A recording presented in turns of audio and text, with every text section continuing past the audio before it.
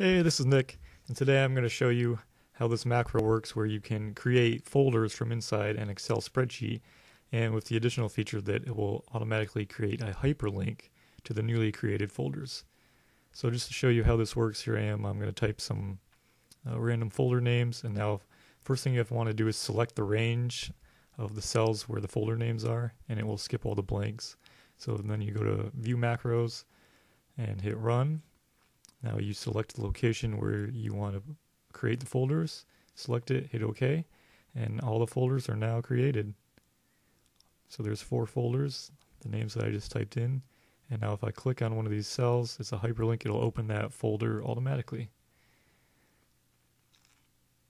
So it's a quick and easy way to make a ton of folders.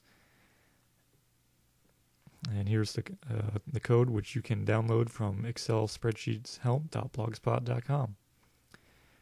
Thanks for watching and let me know if you have any questions.